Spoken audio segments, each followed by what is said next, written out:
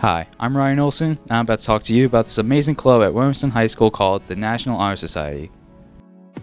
The National Honor Society has dozens of incredible students who work together to better improve the school and the community, doing community service projects while having fun and following the four pillars of the National Honor Society.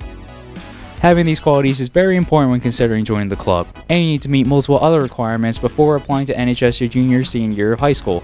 So while you're still a freshman, sophomore, or younger, join some clubs and get some community service hours in so you can have a better chance of joining NHS later. If you're still wondering, what the heck does the National Honor Society even do, then don't worry, we're about to go talk to the WHS NHS advisor, Mr. LaPalamento, as well as a few National Honor Society members to get a closer look at what the club is truly about.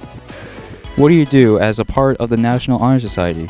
I help the school and I also contribute to community service events as well. Are there any community service projects you look forward to each year? I remember last year I looked forward to it a lot, and this year I looked forward to it a lot. Uh, the Easter egg hunt was a great, great project that we did as a club, and I had a lot of fun doing that. And if you join NHS, that should be one thing that you definitely do. I actually set up an egg really high where no one was able to find it, and it's still there to this day. Uh, there's tons of community service projects I look forward to each year, and we do, I mean, a countless amount of community service. But if I'm thinking top of my head, uh, Haunted High School or Halloween at the high school, I love what we do. We have the little kids not just get candy, but they come in and they, they make all these different Halloween crafts, and I think it's awesome.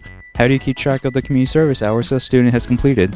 So NHS has a point system. So every time that you do a community service project, you put your points into the system. Every hour is one point, and you have to reach a certain point goal by the end of the year.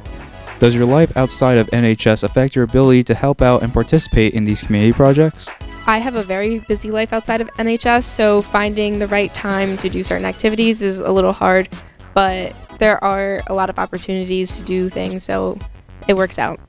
Why is the National Honor Society the best club in WHS? I would give two reasons for that. First and foremost, because we have the best kids. It is just so awesome to be around kids that I, as I get to know them more, and as they become seniors and I work with them in class and NHS, they, they really do become my friends. So here I am as my job, and in my head, I'm just coming to work every day, working with my friends, showing them about community service, showing them about leadership, showing them about physics, whatever it is. It's just awesome. So it's we have the best kids. That's number one.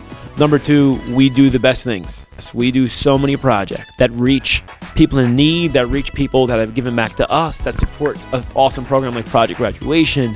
We just are efficient in making this school and this community better. And, and I think that's why NHS is the best.